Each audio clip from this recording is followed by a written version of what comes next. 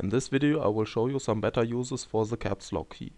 Unless you like participating in flame wars, you probably don't need uh, the key very often. Uh, so I thought uh, one could use it uh, to improve window handling.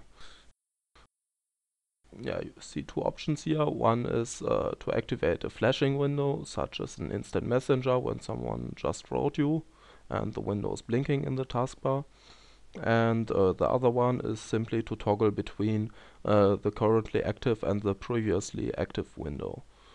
Uh, so let's try it. I press OK. Now I select some window, another one. I press caps lock and you see it pops up.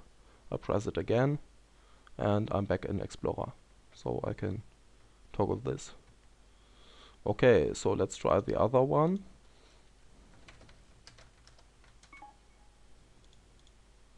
Yeah, let's hope he writes me back now. Yeah, okay, uh, so now I click around a bit to show you it's not the previous window and I press uh, caps lock now and here it is. So uh, if there's a blinking window it will always take precedence but uh, usually you can just toggle with it. I hope this uh, makes the caps lock key more useful.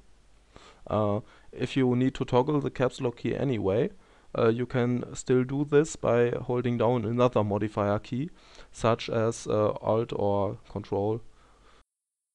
So now I can will do this and write something, blah blah blah blah, and that's it.